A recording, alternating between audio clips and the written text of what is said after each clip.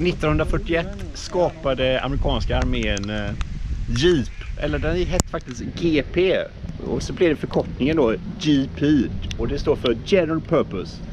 Och eh, det här är det en Jeep? Ja det tror man ju då att det ska vara va? men det ser att det lyser lite rött på sidan här va? Vad är det som lyser? Jo men titta här. Men det är ju någon sån här och undrar, då får vi vara lite nyfikna och kolla om det inte är någonting på andra sidan. Jajamensan.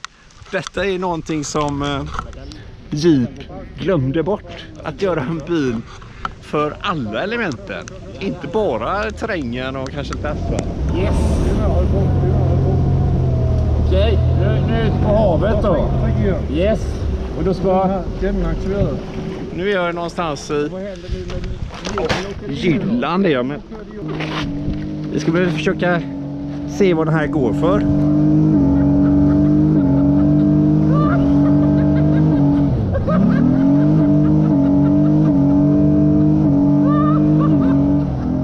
Mest spännande med den här bilen är att den eh, ser väldigt amerikansk ut men bak på här ni ser att den hänger lite, lite mycket motor här bak va? Jo under här här är ju då en 3,7 liters V6 från Honda.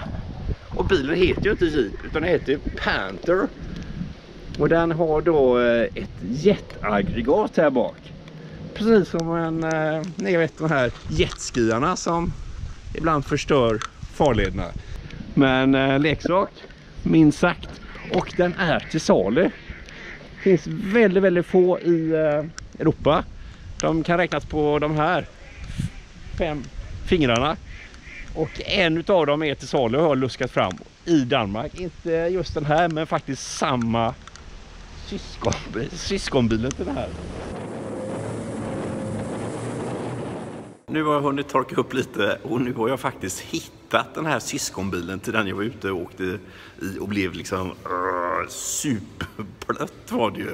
Det både regnade och det vågade lite sådär va.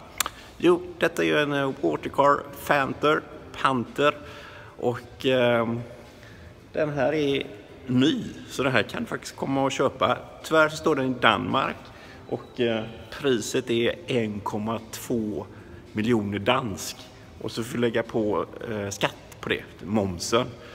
Och så lite problem med inregistreringen i Sverige. Men eh, det kan det ju kanske vara värt va? Det är ju inte så långt kvar här nu tills det är julafton.